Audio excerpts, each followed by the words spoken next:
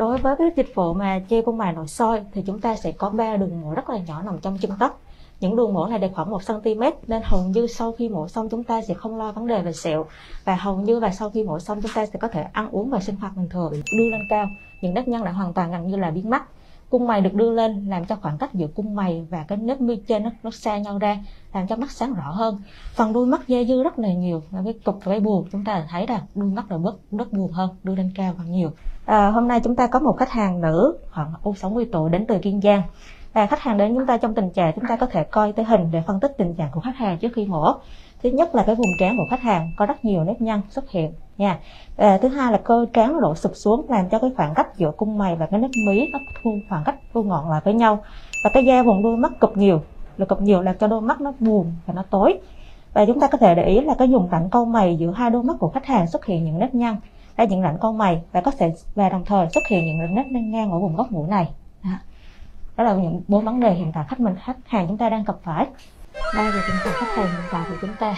Đây vùng trán đây là da vùng trán trước khi mổ nếp nhăn rất là nhiều. Bây giờ khi cái vùng trán được đưa lên cao những nếp nhăn đã hoàn toàn gần như là biến mất. Cung mày được đưa lên làm cho khoảng cách giữa cung mày và cái nếp mi trên nó, nó xa nhau ra làm cho mắt sáng rõ hơn.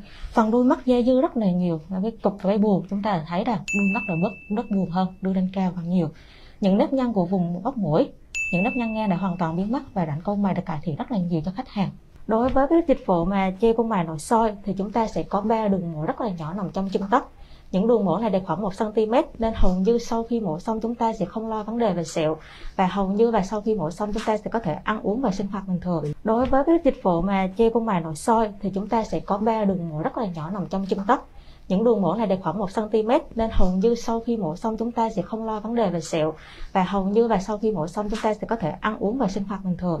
Dạ đúng rồi chúng ta sẽ không có khuyên khuyến cáo là kiên cử gì hết gia đình nha.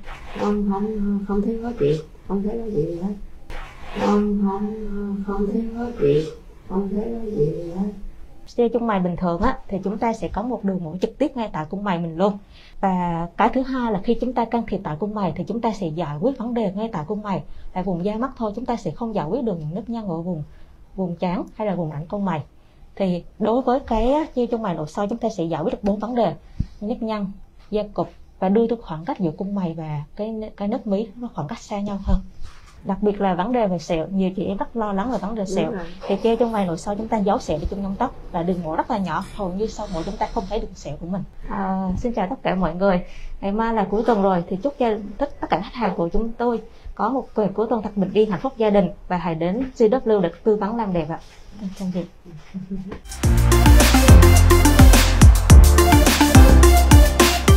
Nếu bạn thấy thích video này thì đừng quên để một like và nhấn đăng ký kênh. Xin cảm ơn.